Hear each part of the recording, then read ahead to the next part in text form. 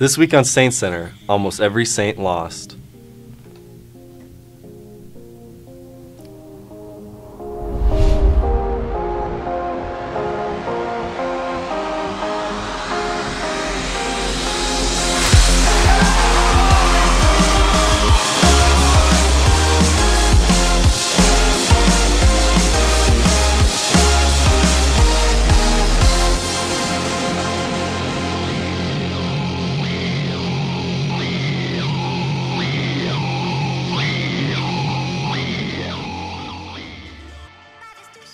Welcome to Saints Center. I'm your host, Neil Viersba.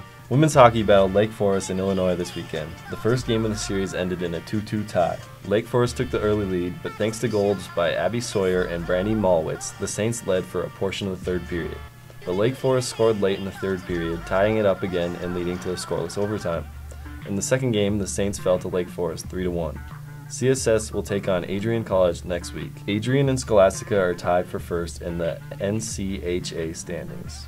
Chris Lawson finished 95th at the NCAA Cross Country Championships Saturday.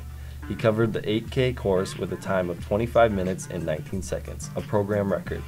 Lawson is also the first male from St. Scholastica to compete at the NCAA Cross Country Championships. After a disappointing 72 43 loss against Wartburg Friday, the men's basketball team was able to come back Saturday to, to defeat Crown College, earning their first win of the season. Scholastica's Andrew Laughlin led the team with 12 points in their 72 44 victory over Crown. Nathan Carlson and Julius Johnson each scored 11 points respectively.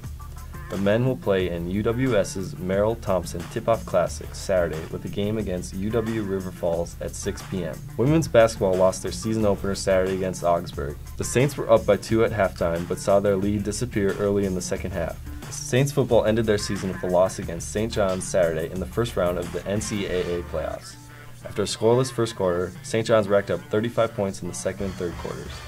Finally, in the fourth quarter, Scholastica was on the scoreboard thanks to a 33 yard touchdown by Preston Robinson. Mike Theismann picked up the extra point. Saturday's 35 7 loss against St. John's was Scholastica's only loss of the season. This concludes this episode of Saints Center. I'm Neil Viersba, and go Saints.